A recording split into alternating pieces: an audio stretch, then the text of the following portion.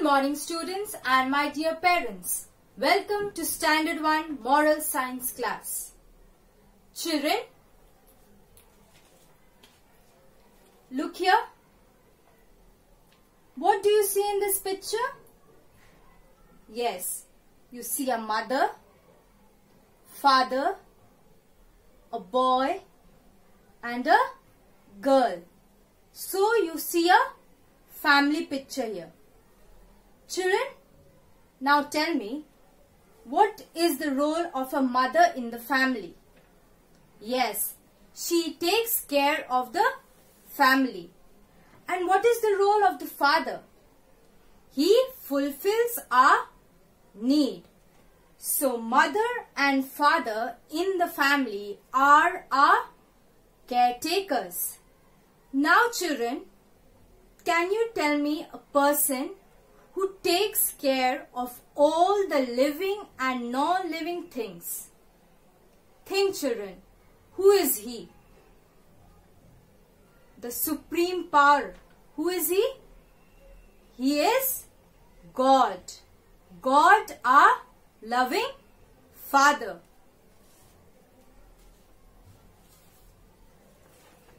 So children, today we will study Moral Science. Chapter 2 God is my Father from your Living Values book. First, let's read the chapter. God is my Father. I am His child. He loves me very much.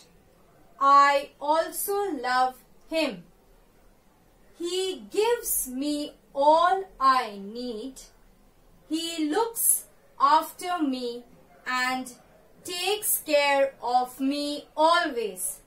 Truly, He is my loving Father. Now, let's understand the chapter, children. God is my Father. So, who is our Father? God is our Father. Why God is considered as a Father? Because He has created us and He is a caretaker. God is my Father. I am His child. So here the child is saying that we are the children of God. God has created everyone. He has created us. He loves me very much. So the child is saying God loves him very much. I also love him. So the child is saying as God loves him, in the same way he also loves God. Him is referred to God here. He gives me all I need. Who is he, your children? He is referred to as God here. So God gives me all I need. The child is saying, God gives me all I need. Whatever I wish for, God grants me. He looks after me. Who looks after the child? God looks after the child and takes care of me always. So God looks after the child and also takes care. Truly, He is my loving Father. So the child is saying, truly, really, He is a loving Father. He loves the child very much. Children, based on the chapter, let's see some exercises. A. Answer these questions. Question number one is, who is God? Who is God, children? God is my Father.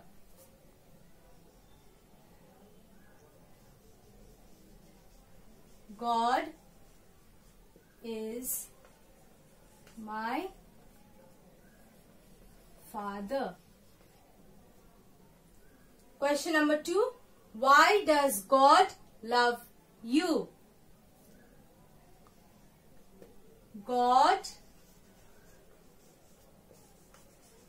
loves me because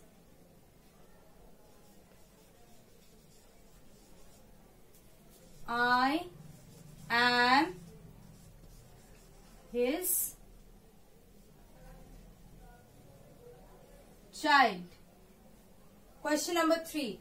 Why do you love God? I love God because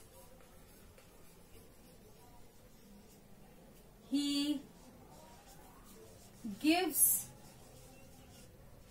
me all that I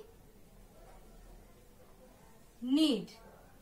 Now, question number two is write true or false below each of these statements. Children, beside these statements, you have to write true if the statement is correct and you will write false if the statement is wrong. Let's see the first one. God gives me everything that I ask for. So is this statement correct children? Yes. So we will write true. Question number two. I love God more than anything else. Is this statement correct? Yes. So we will write true. Number three. God always cares for me. This statement is also correct. So we will write true.